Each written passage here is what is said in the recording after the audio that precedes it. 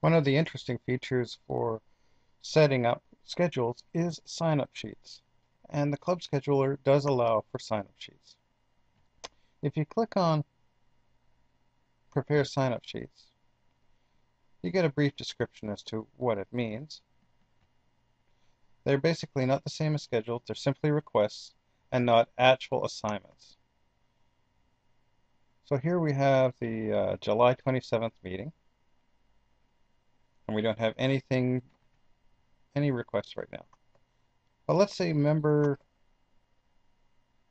member five wants to be uh, chairman,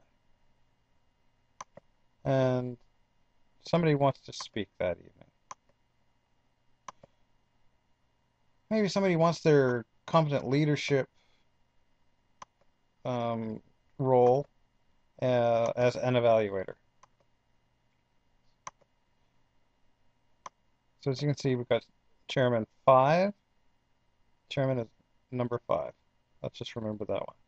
Now when we generate new assignments for the July the 27th, it will automatically put those members in. Now here, here's an interesting one. Member 13 is requested as the role of an evaluator but does not appear to be qualified to be a candidate on this date. Either she's become an evaluator too recently or perhaps she's done it too recently. Either way, you can say whether you're going to accept it or reject it. Let's just say yes for now. So you can see member number 5 requested the assignment. Member number 19 requested the assignment. Member number 13 requested the assignment. Makes it very easy to set up sign-up sheets ahead of time.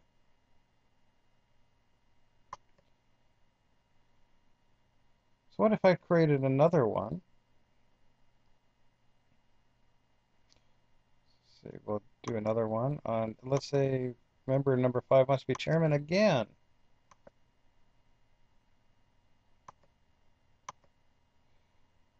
Generate new assignments. It's going to say the role of chairman has been requested. So it's basically the same message. In this case, we know that the chairman has been uh, he's been a chairman too recently. So we're going to say no. It will automatically fill in a new member.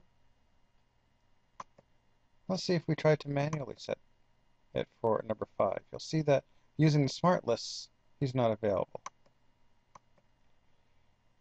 Turning off the smart lists, you can see that one meeting ago, he was a chairman. And you'll see the error message. This member has already been assigned another role. Oh, okay, well, let's uh, let's remove him from this role.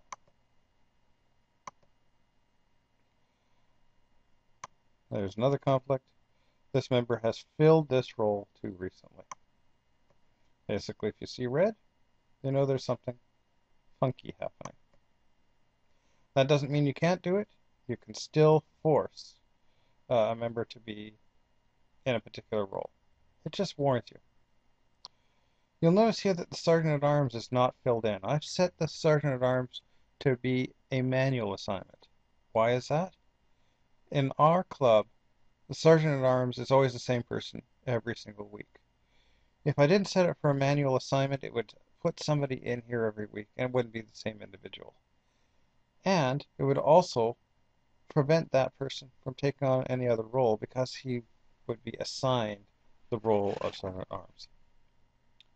All in all, setting up schedules with the club scheduler is ridiculously easy compared to the old way of doing things.